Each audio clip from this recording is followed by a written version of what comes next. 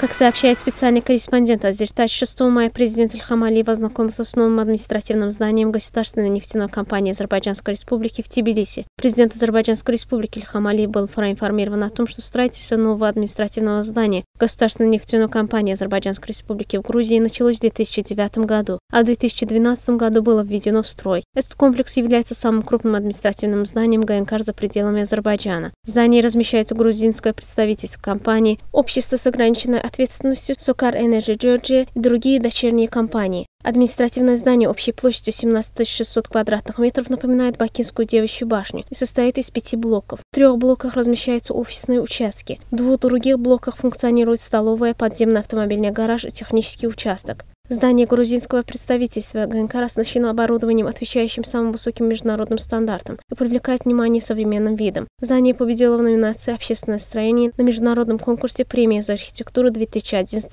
года, проведенном мэрией города Тбилиси.